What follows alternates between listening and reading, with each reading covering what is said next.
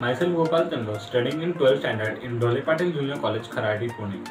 Today I am here to give you an example of real-life application of derivatives. So let's start. We will make a box with the help of this cardboard and we will cut it into four sections such that it can be made into a box like this and name that section as X and we'll cut these four sections and we'll make a box of it and as volume of this box will be more. That much that much things can be placed in this box.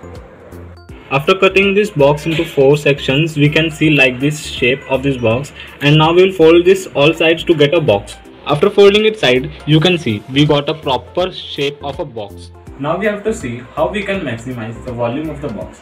Therefore we need a mathematical model as shown on the screen.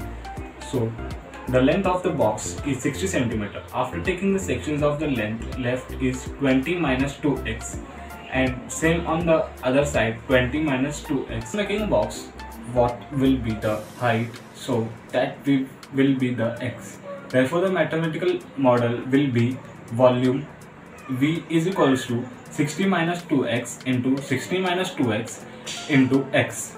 After solving it, we will get 3600 minus 120x minus 120x plus 4x square into x. So after solving this, we will get 3600x minus 240x square plus 4x cube. To get the maximum first de uh, derivative should be v is equals to dy upon dx is equals to 0.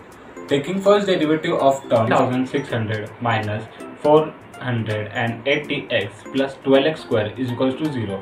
After taking 12 as a common, we will get the equation as x square minus 40x plus 300 is equals to 0. After taking the factors, we will have x square minus 30x minus 10x plus 300 is equals to 0. So after solving it, we will get as x is equal to 30 and x is equal to 10. So as our box length is 60, therefore x is equal to 30 is not practical. So therefore x is equal to 10 is maximum. Therefore the cutting of the fourth section is x is equal to 10.